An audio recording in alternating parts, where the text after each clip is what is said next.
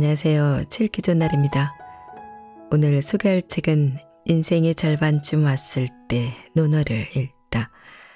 지은이는 조영권, 발행은 비즈니스 북스입니다. 보통 논어에 대한 책은 동양 철학자나 인문학자의 책들이 주류를 이루고 있는데요. 특이하게도 이 책은 전기공학을 전공하고 반도체 대기업에 근무하고 있는 조영권 작가가 쓴 책입니다.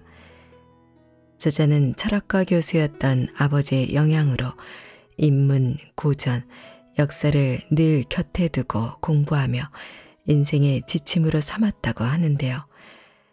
하루하루 피말리는 경쟁의 세계에서 어떻게 일할 것인가, 어떻게 좋은 조직을 만들 것인가, 성과는 어떻게 만들어내는가에 대한 본질적인 답을 고전에서 찾고자 했습니다. 마흔을 지나서 인생의 절반쯤 왔을 때 읽은 논어는 이전과는 달랐다고 합니다. 인간 공자가 인생의 희노애락을 어떤 자세와 생각으로 다스렸는지, 타인의 시선과 잣대에 흔들리지 않고 어떻게 자신의 중심을 지켰는지 현실적인 조언이 되어 뼛속 깊이 와닿았다고 말합니다.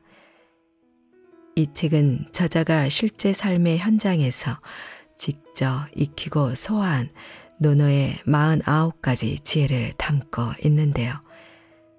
태도, 배움, 관계, 성찰, 실천이라는 다섯 가지 삶의 자세로 나누어 공자와 제자들의 말에서 엿볼 수 있는 마음의 그릇을 키우고 인생의 기준을 세우는 법을 소개하고 있습니다. 또한 기존의 책들과는 다르게 내용을 쉽게 풀어내는 데 중점을 두어 많은 사람들이 편하게 읽을 수 있도록 했습니다. 저자는 논어는 인생을 살아가는 지혜를 온전히 담고 있다. 사업가, 직장인, 정치인, 학생 등 누구라도 이 책을 통해서 단한 문장이라도 가슴에 새기고 실천한다면 깨달음을 얻고 변화할 수 있다고 말합니다. 자, 그럼 지금부터 잠시 책 속으로 들어가 보겠습니다. 오늘도 책 읽기 좋은 날과 함께 즐거운 시간 되세요. 구독, 좋아요, 알림 설정은 사랑입니다.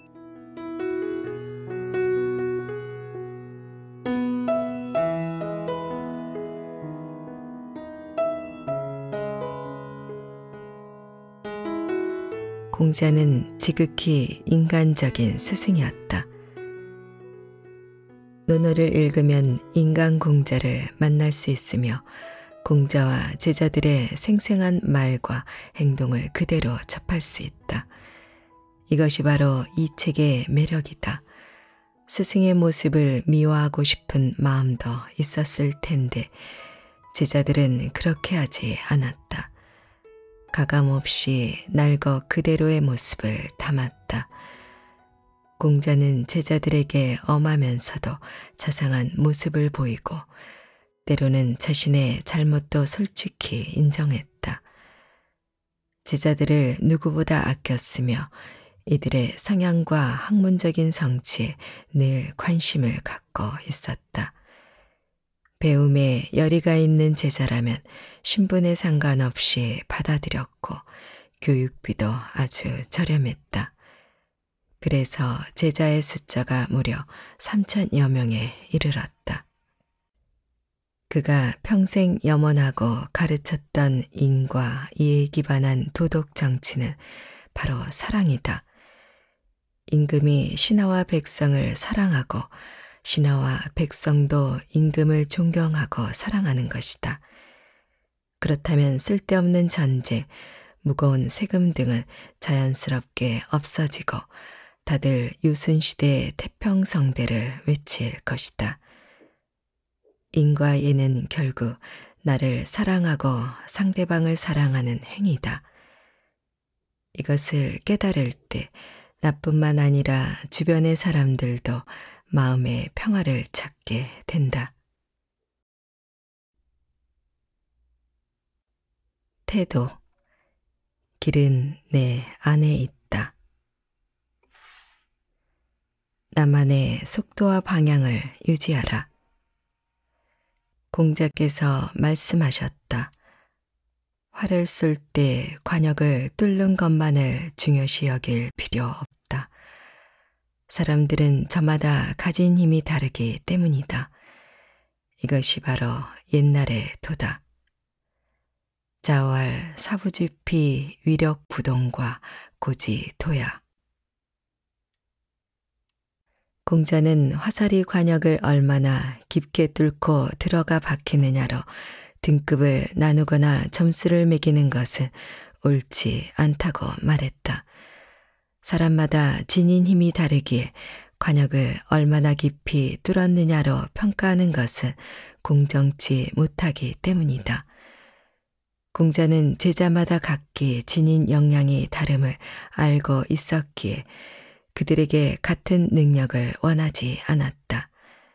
그는 제자들이 지닌 성향과 특장점을 꿰뚫고 있었으며 그에 맞춰 교육법을 달리했다.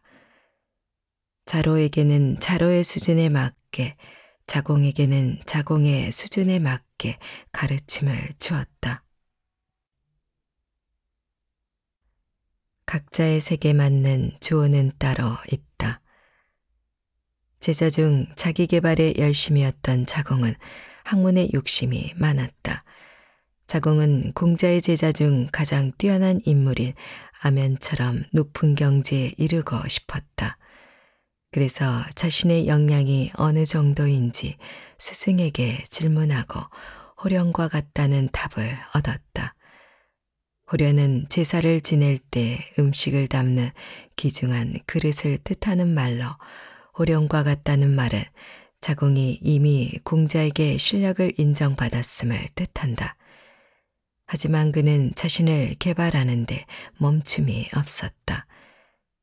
한 번은 자신만만한 자공이 이런 말을 했다. 다른 사람이 제게 강요하는 일을 저는 하고 싶지 않습니다. 마찬가지로 저 역시 다른 사람에게 강요하지 않으려 합니다. 한마디로 상대방이 싫어하는 것을 강요하지 않겠다는 의미다. 그런 자공에게 공자는 사야 내가 미칠 수 있는 것이 아니다 라고 말했다. 그야말로 자신의 애제자에게 팩트 폭행을 한 셈이다. 물론 애정 어린 충고였다. 솔직하고 싫은 소리도 곧잘하는 자공이 상대방에게 어떻게 할지 알고 있었기 때문이다. 만약 그에게 덕행의 대명사인 안연, 민자건, 연배구, 중군과 같은 사람이 되라고 했다면 어땠을까? 자공은 극심한 스트레스를 받고 지쳐 포기했을 것이다. 어쨌든 평소 질문을 많이 하던 자공이 공자의 충고의 이견을 제시하지 않은 것을 보면 굴하게 자신의 한계를 인정한 듯 싶다. 이 이야기는 위령공에 다시 한번 등장한다. 자공은 평생 마음에 새겨두고 실천할 만한 것을 스승인 공자에게 물었고, 공자는 기소부료 물시어인이라 말했다. 자기가 하고 싶지 않은 일을 남에게 강요하지 말라는 것이다. 반복되는 이야기로 미루어 짐작건대 공자는 자공의 특성을 이해하고 그에 맞는 조언을 해주었음을 알 수 있다. 모두가 같은 속도로 걸을 필요는 없다. 뱁새가 황새 따라가면 가랑이 찢어진다는 속담이 있다. 나의 분수에 맞지 않게 살면 도리어 해를 입는다. 뱁새는 13cm 정도 되는 작은 크기의 새다. 반면 황새는 긴 다리를 지닌 몸통이 큰 새다. 뱁새가 그 짧은 다리로 황새를 쫓아가려고 뛰다 보면 숨도 차고 이래저래 역부족일 수밖에 없다. 아마도 힘들어서 쓰러질 게 뻔하다. 우리들 마음속에도 뱁새이면서 황새가 되고 싶은 욕망이 들어 있다. 안 되는 걸 알면서도 쫓아가지 못해 안달이 난다. 분수에 맞게 살라는 것은 현실에 안주하라는 말이 아니다. 정확히 말하면 내가 갖고 있는 것에 감사하고 그 안에서 나만의 길을 찾으라는 의미다. 그러니 꿈을 포기하라는 말로 오해해선 안 된다. 꿈을 향해 노력하되 무리하지 말라는 의미다.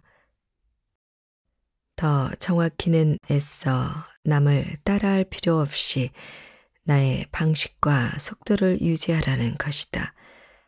내게는 나의 꿈이 있으니 다른 사람의 꿈을 탐낼 이유가 없다.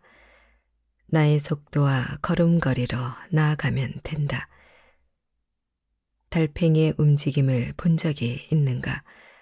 꼬물거리며 정말 느린 속도로 천천히 기어간다. 저렇게 해서 언제 길을 건너가려나 싶지만 시간이 지나 살펴보면 어느새 그 달팽이는 사라지고 없다. 자신의 점액을 이동한 흔적 따라 길가에 남겨둔 채 느린 속도일지언정 달팽이는 멈추지 않는다. 자신의 속도로 꾸준히 나아가 궁극에는 가고자 하는 곳에 도달한다. 결과보다 과정에서 즐거움을 얻어라. 하룻밤새 새로운 것이 나오고 따라가기 벅찰 만큼 급변하는 세상에서 불안함을 느끼는 것은 당연한지도 모르겠다. 그렇게 자신의 페이스를 유지하는 것이 중요하다. 남들처럼 하겠다고 자신이 감당할 수 없는 속도로 달려간다면 중심을 잃고 쓰러질 수 있기 때문이다. 우리는 모두 자신이 감당할 수 있는 속도가 있다. 달팽이가 개구리처럼 껑충껑충 뛸 수 없는 것처럼 공자가 활을 쏘는데 관역을 주로 삼지 않는다고 말한 이유도 이와 같다. 어떤 사람은 천성적으로 힘이 세거나 기술이 좋아서 화살로 관역을 쉽게 뚫을 수 있다. 반면 어떤 사람은 태생적으로 힘이 약하고 기술이 부족해 화살을 쏘아 관역에 간신히 꽂히기도 한다. 이처럼 우리는 타고난 재능도 역량도 모두 다르다. 힘이 약하고 기술이 부족하다면 관역에 꽂기 위함이 아닌 화를 쏘는 나름의 목적과 목표를 가지면 된다. 혹은 활쏘기가 아닌 다른 일을 찾는 것도 괜찮다. 활을 잘 쏘지는 못하지만 말을 잘 타거나 수레를 잘 몰거나 글을 잘 쓰는 등 분명 다른 재능이 있을 테니 말이다. 남들이 하는 것을 내가 해야 할 필요도 없고 남들이 가는 방향으로 가야 하는 것도 아니다. 그리고 더욱 주의할 것이 있다. 결과만을 우선시해서는 안 된다는 점이다. 활시를 당겨 관역을 맞추는 데만 집착하면 어떨까? 과정은 무시한 채 결과만을 생각한다면 부담과 강박 때문에 활쏘기가 재미없어질 수 있다. 혹은 압박감 때문에 실력만큼 성취하지 못할 수도 있다. 우리 삶도 이와 같다. 1등, 합격, 승진 등 결과에만 집착하다 보면 그 결과에 이르는 과정이 고통으로 다가온다. 당연히 재미나 흥미를 느끼기 어렵다. 결과만큼이나 그에 다다르는 과정에서의 즐거움과 의미도 놓치지 말아야 한다. 자공은 비록 덕행에서는 다른 네 명의 제자에게 뒤졌지만 그의 언행은 누구보다 뛰어났다. 나라의 운명을 자지우지할 정도로 말이다. 또한 그의 상업적 능력은 공자도 인정하고 탐복할 정도였다. 그는 이미 자신만의 도를 이룬 것이다. 관계. 우리는 사람을 통해 넓어지고 깊어진다. 좋은 사람은 좋은 에너지를 몰고 온다.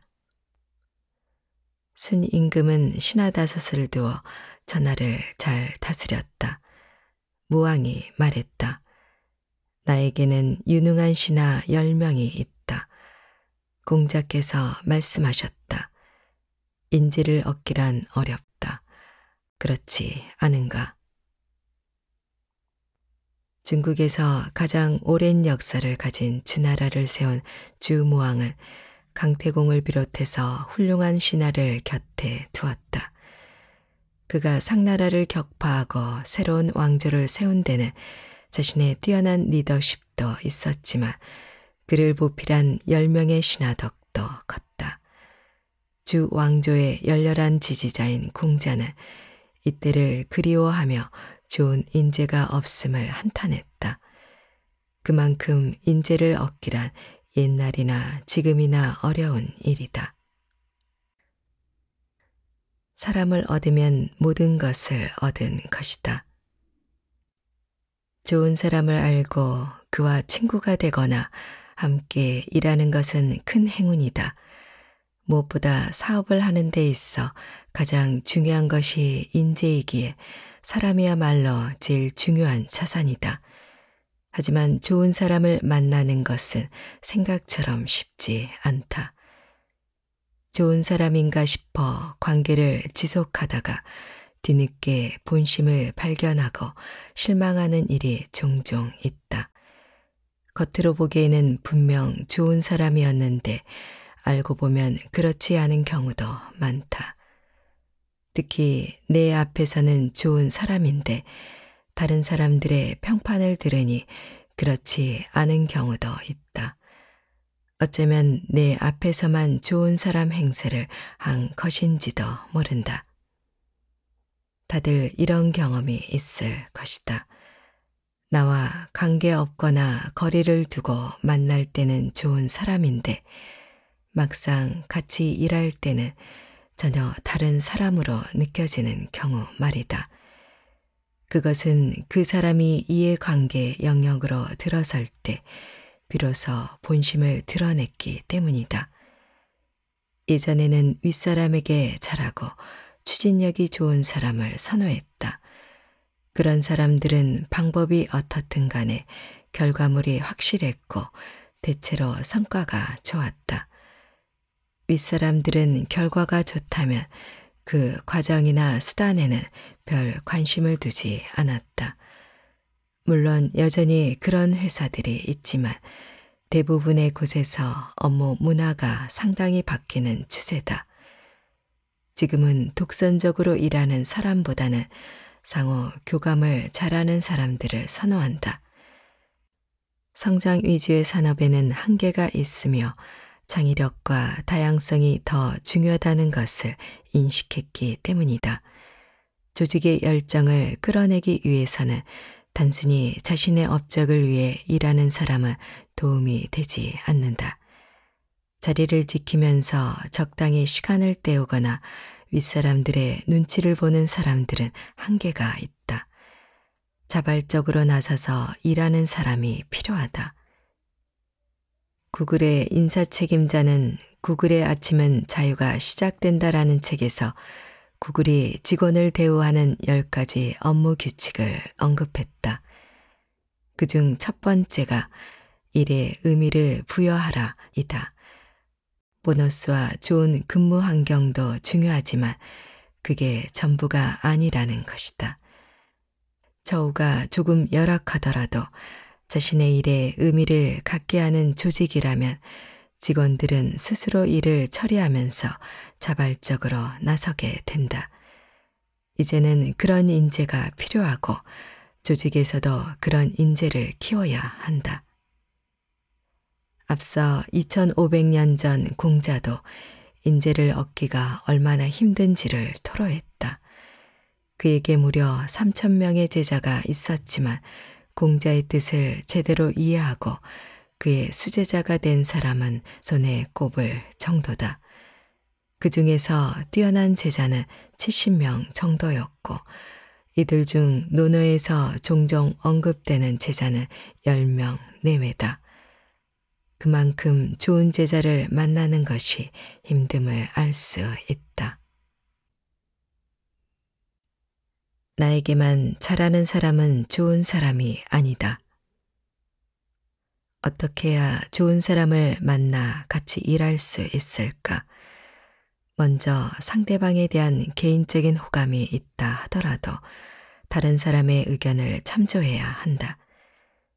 나한테 잘한다고 좋은 사람은 아니다.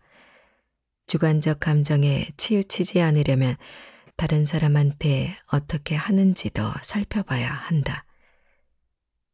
평소에는 예의 바르고 겸손한데 운전만 하면 과격한 면이 나오는 사람, 혹은 자신보다 약자 앞에서만 목소리를 높이는 사람도 있다. 이럴 때 우리는 그 사람의 진면목을 본다. 같은 광고 전화라 해도 어떤 사람은 매너 있게 거절하는가 하면 어떤 사람은 소리를 지르거나 상대방을 무시하는 태도로 전화를 끊는다. 식당에서 종업원을 대하거나 전화로 상담원과 통화하는 등의 사소한 일상에서 그 사람의 인격이 제대로 드러나는 경우가 많다. 그러니 세심하게 살펴 그 사람의 진면목을 제대로 파악해야 한다. 그렇다면 왜 좋은 사람을 곁에 둬야 할까? 그것은 바로 에너지 때문이다. 좋은 에너지를 갖고 있는 사람은 또 다른 좋은 에너지를 끌어오게 마련이다. 한 가지 오해하지 말아야 할 것이 있다. 여기서 말하는 좋은 사람은 그냥 성격 좋은 사람이 아니다. 일에 공정하고 상대방을 배려하면서 업무에 대한 책임감이 강한 사람을 말한다. 흔히 말하는 마냥 성격 좋은 사람은 문제가 있다. 여기저기서 나오는 다양한 의견을 조율하지 못하고 우유부단할 수 있기 때문이다. 만약 내가 회사의 리더라면 좋은 사람 몇 명만 곁에 둬도 큰 이득이다. 그들은 자신이 무엇을 해야 하는지 잘 알고 조직의 영속적인 발전을 위해서 노력한다. 특히 회사가 커질수록 이런 사람들이 더 필요하다. 나 혼자서 책임질 수 있는 데는 한계가 있다. 회사와 함께 성장할 수 있는 좋은 에너지를 가진 사람을 발견했다면 그 에너지를 확장해 좋은 사람들을 점차 늘려나가야 한다. 반면 자신의 명예와 부만을 목적으로 하는 사람들은 경계해야 한다. 이런 사람들은 조직의 성장이나 일 자체에는 관심이 없으며 오로지 자신의 이익을 채우는 데만 신경 쓴다. 결국 부정적인 에너지를 내뿜으면서 조직을 병들게 만든다. 좋은 사람을 얻으려면 먼저 좋은 사람이 돼야 한다. 가장 중요한 것은 나의 안목이다. 좋은 사람인지 아닌지를 판별하는 눈을 키워야 한다. 그러면 사람 보는 안목은 어떻게 키울 수 있을까? 먼저 내가 좋은 사람이 되어야 한다. 너무나 뻔한 결론이지만 우리는 이러한 단순한 진리를 외면하고 있다. 이인에서 언급했듯이 오직 인자만이 다른 사람을 좋아하고 싫어할 수 있다. 공자는 사람의 잘못은 각자 그 무리에 따르게 되어 있다. 라고 말했다. 금묵자의, 즉, 먹을 가까이 하면 검어진다는 의미다.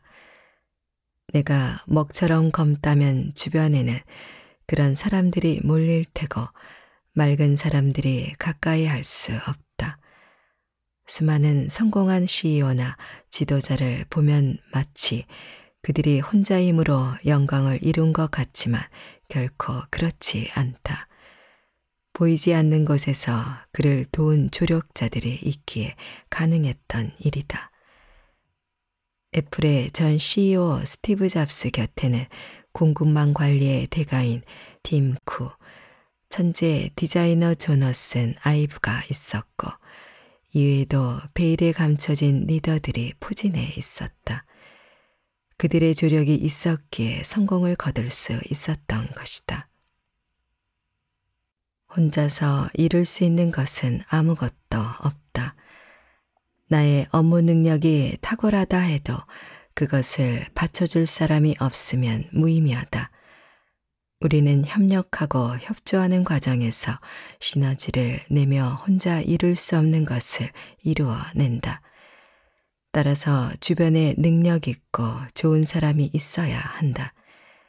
그리고 그런 사람들을 곁에 두려면 내가 먼저 그런 사람이 되어야 한다. 성찰. 멈춰서 돌아보라. 여전히 사랑하며 살고 있는가? 공자께서 말씀하셨다.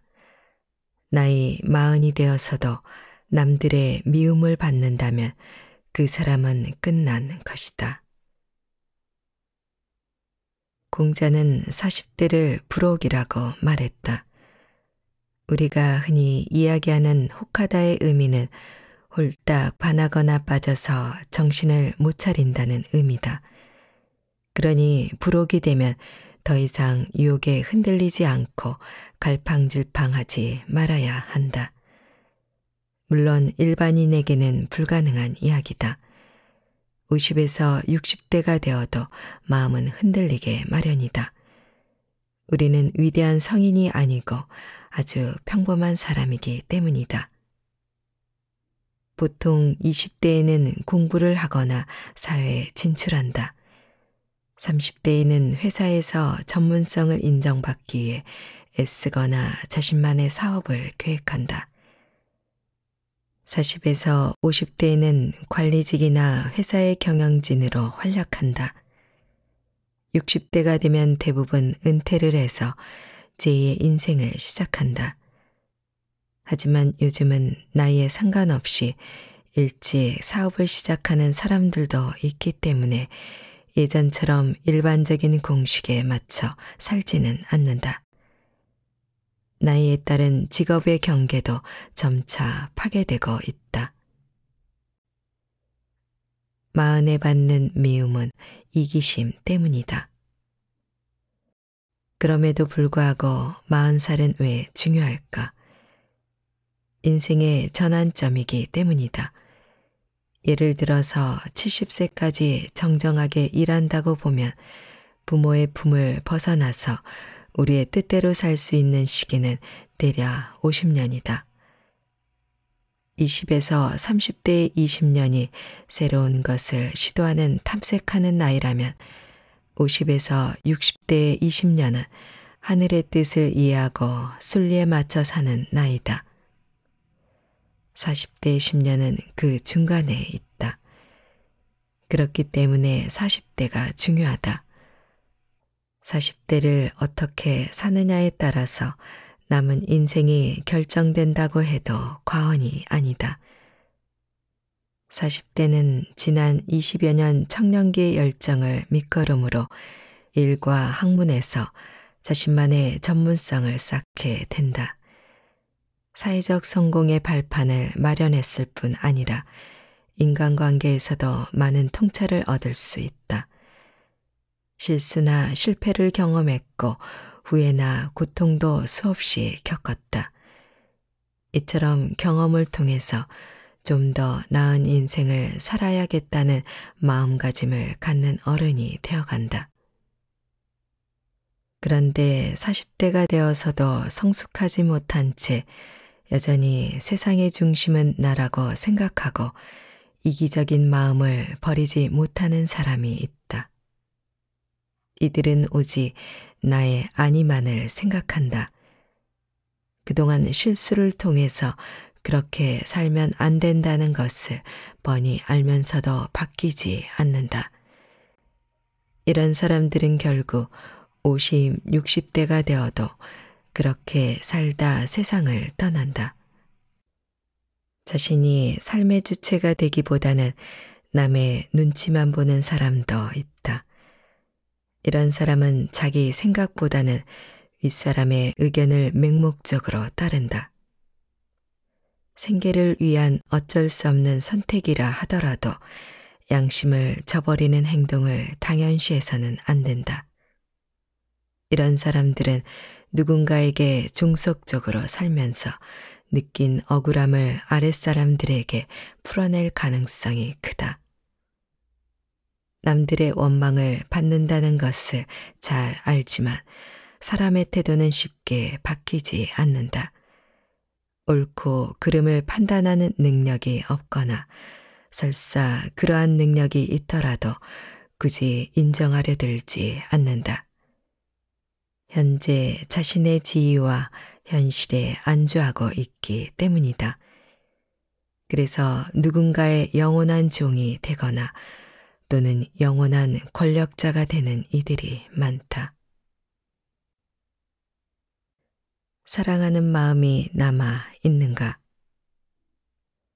남을 배려하고 공감하기보다는 남의 아니만을 위해서 사는 사람들은 공감 능력이 결여되어 있다. 그래서 죄책감을 느끼지 않는다. 내가 무심코 던진 한마디나 행동이 누군가에게 평생 남을 상처가 될 수 있음에도 불구하고 이를 인정하지 않는다. 일종의 소시오패스 같다. 사이코패스처럼 범죄를 저지르지는 않지만 자신의 성공을 위해 타인에게 정신적, 물질적으로 피해를 주고는 양심의 가책을 느끼지 않는 것이다. 공자는 철없는 40대에 대해서 꽤 냉정한 태도를 취했다. 40대가 되어서도 다른 사람들의 미움을 받는다면 인생은 끝이라고 일괄했다. 논어에서 공자가 이렇게 냉정하게 말한 경우는 좀처럼 찾아볼 수 없다. 이는 자신의 나이에 책임을 지라는 동렬한 비판이다. 공자는 도를 추구하는 삶, 즉 입신양명보다는 먼저 인과 예를 생각하고 꾸준히 공부하라고 강조했다. 자신만 챙기고 다른 사람들을 이용하거나 상처 주는 사람들은 용서할 수 없다는 의미다. 이 세상에는 수많은 이들에게 상처를 주고도 태연히 잘 사는 사람들이 많다. 도무지 정의가 없다는 생각이 들 때도 있다.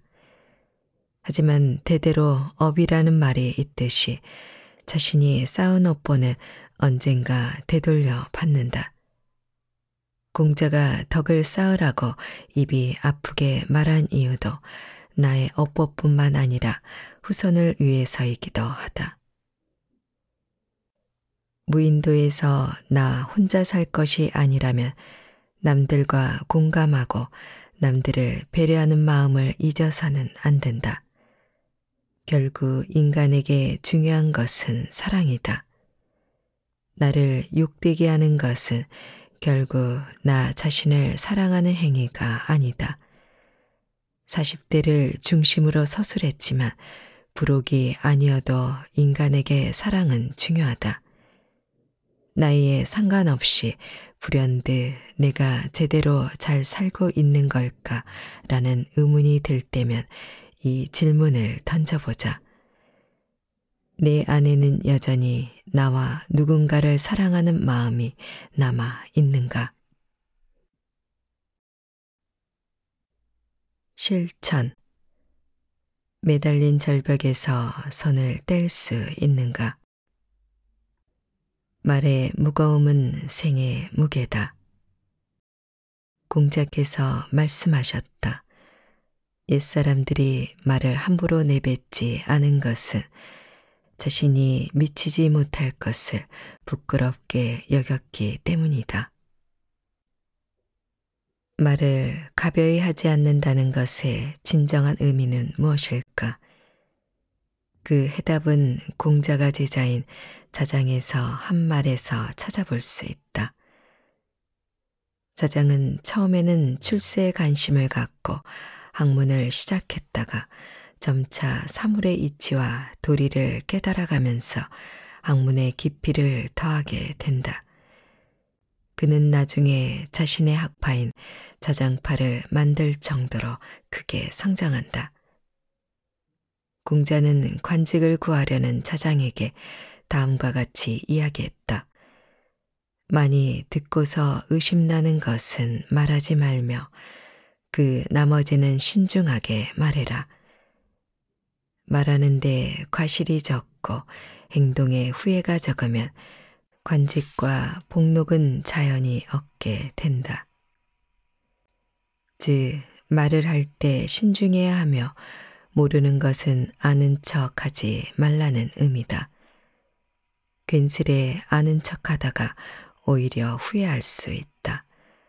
모르면 모른다고 용기 있게 이야기하거나 스스로 깨치기 전에는 입에 올리지 말아야 한다. 이보다 더 중요한 것은 경청이다.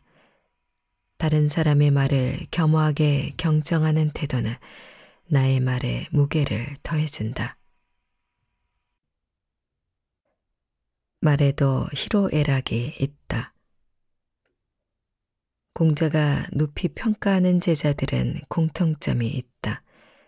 말은 다소 어눌하더라도 실행력이 좋다는 점이다. 안연, 중궁, 증자 등이 대표적이다.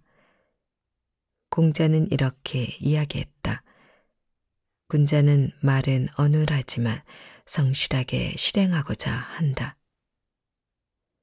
누군가 공자에게 중궁 여몽이 비록 인하지만 말재주가 없다고 말했다. 하지만 공자는 반드시 말재주가 필요하냐며 오히려 되물었다. 그는 말이 많고 행동이 따르지 않는 사람을 제일 싫어했다.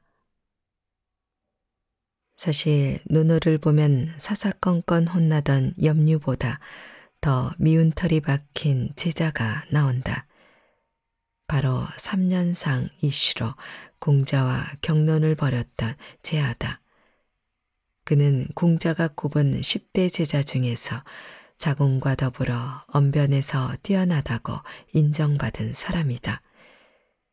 자공이 화려한 말솜씨를 앞세워서 노나라를 위기에서 구해냈듯이 제아도 그만한 능력이 있었던 것이다. 그런데 그는 논어에서 거의 망나니 제자로 묘사된다. 오죽하면 제아 때문에 더 이상 사람의 말이나 추천을 믿지 않고 직접 그 행실을 봐야겠다고 말했겠는가. 그것은 제아가 말이 너무 앞선다고 생각했기 때문이다. 공자와 3년상을 두고 논쟁이 있을 때도 제아는 1년상이면 충분하다고 했다. 그의 논리는 정연했지만 부모를 위한 인애 정신이 결여되어 있었다. 반면 공자는 말이 어눌한 중궁을 임금감이라며 극찬했다. 제자 중에서 이런 칭찬을 들은 이는 중궁밖에 없다. 결국 말이 문제다.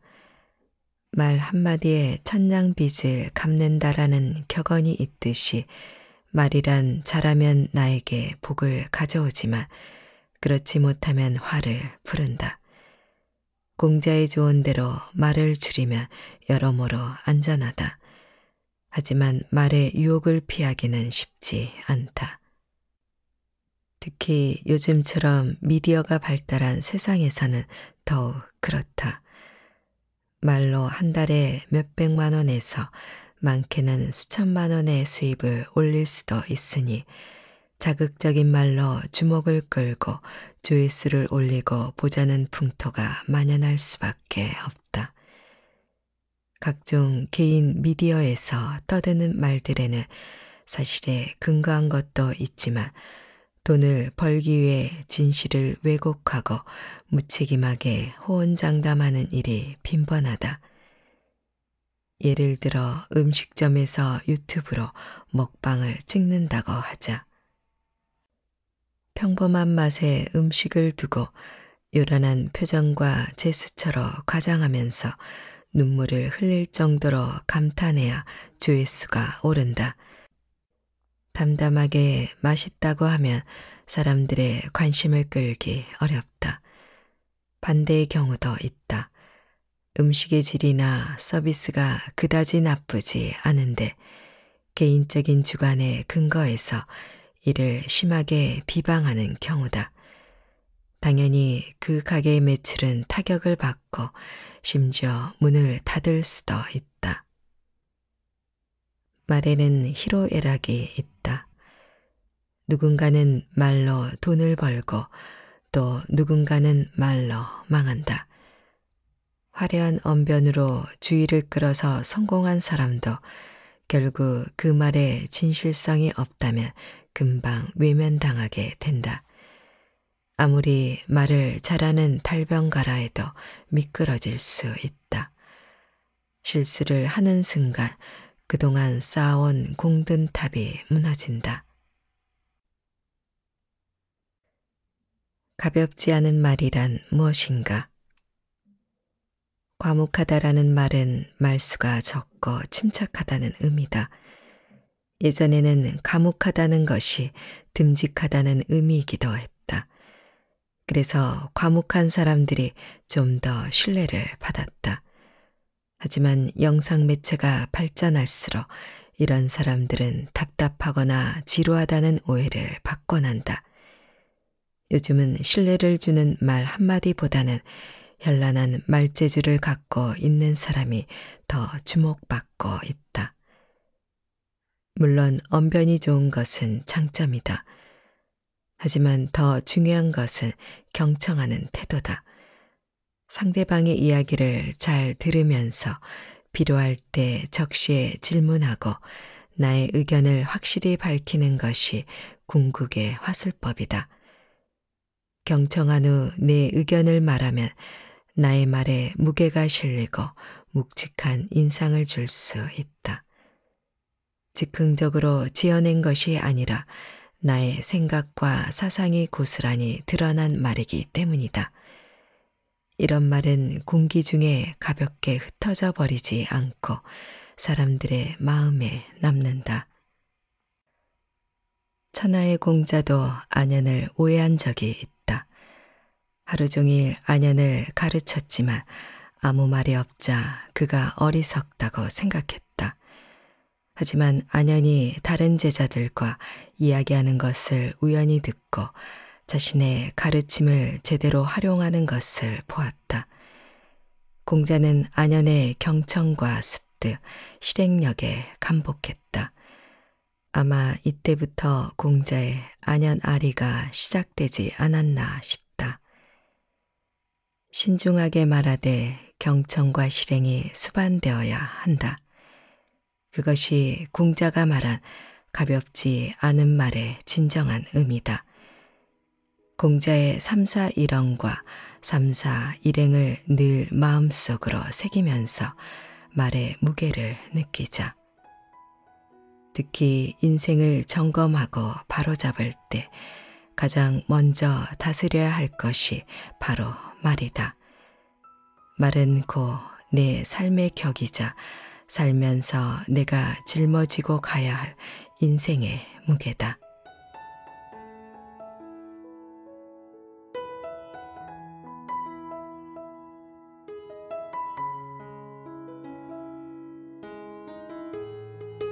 책 읽기 좋은 날 오늘은 인생에서 지켜야 할 것과 버려야 할 것은 무엇인가? 인생의 절반쯤 왔을 때 논어를 일다를 보내드렸습니다. 감사합니다.